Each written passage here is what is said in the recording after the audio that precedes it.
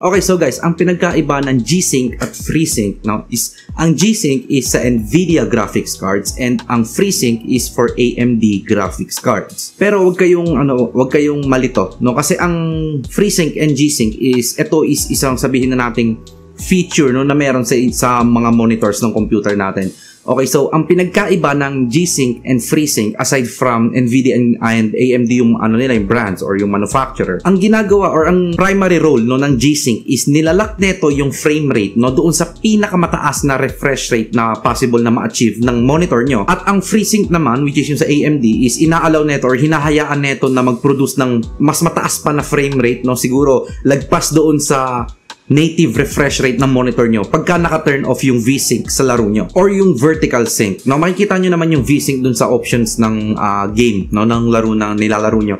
Okay, so ang ginagawa kasi ng vertical sync or yung V-Sync is nilalak neto yung frame rates na native no doon sa resol- sa sabihin nating refresh rate ng monitor nyo. For example, ang refresh rate ng monitor nyo ay 60 Hz, no, hindi lalagpas doon yung frame rates na makukuha ng laro nyo. Okay? So kahit sabihin mo ang binibigay na frame rates ng GPU nyo is 100 or even up to 200 frame rates, kung naka-on yung ver- uh, vertical sync ng laro nyo is ipinaparis neto no yung refresh rate ng monitor nyo. So, kung refresh kung ang refresh rate ng monitor nyo is hanggang 60 lang, kahit sabihin mo na 200 yung FPS na binabato ng GPU nyo or nung, ver- uh, nung video card, hindi ito lalagpas sa 60. So, ganun yung ginagawa ng vertical sync sa laro nyo. Okay, so guys, balik tayo dun sa FreeSync and G-Sync na topic natin. Since magkaiba sila ng manufacturers, di ba, yung G-Sync is NVIDIA, then yung FreeSync is AMD, pero ngayong modern times, no, uh, hinahayaan na na ng G-Sync or ng Nvidia graphics card na mag-work together no yung FreeSync na monitor nyo doon sa G-Sync or doon sa Nvidia graphics card. Okay, so meron ng support or sinusuportahan na or po, pwede nyo nang gamitin yung G-Sync or yung ano pala yung Nvidia graphics card no doon sa FreeSync monitor nyo. Okay, so ang big question dito is kailangan nyo ba ng monitor na merong V na merong G-Sync or na merong FreeSync? Okay, so katulad nga ng sinabi ko kanina no, yung katulad in-explain ko,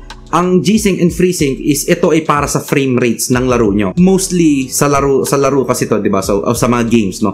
Okay, so kakailanganin niyo ba ng G-Sync and FreeSync? Okay, so kung nag, kung meron kayong uh, high-end no na graphics card tapos meron kayo nilalaro na na merong regular V-Sync enabled. Okay, so um, kahit wala, kahit wala kayong G-Sync monitor, okay lang, no? Uh, mas, mas makukuha nyo yung higher or, or mas makukuha nyo yung performance na gusto nyo. Pero, pwede kayong mag-suffer sa, sabihin na natin sa lag, no? Kasi, katulad nga nung, um, alam ko nabanggit ko na to sa isa, sa isa kong video dati na magkakaroon ng ghosting ata yung tawag doon na kung saan eh pagka sobrang lakas ng GPU nyo tapos hindi kinakaya ng, ng monitor refresh rate nyo yung uh, frame rates na ibinabato ng GPU nyo magkakaroon ng parang nag skip skip yung character nyo uh, doon sa laro. So magkakaroon ng ghosting ata yung tawag doon, I'm not sure no. So magkakaroon ng ganun pagka sobrang lakas ng GPU nyo tapos yung refresh rate ng monitor nyo is hindi hindi kayang i-accommodate lahat ng frame rate na binabato ng GPU nyo. So yeah, I guess that's pretty much it for this video. Kung, uh, kung meron kayong mga question and suggestion, just hit uh, just comment in the comment section down below. So yes guys, na kung nagustuhan nyo tong video, just hit the like button and also share nyo na rin tong video para na mamalaman din ng iba.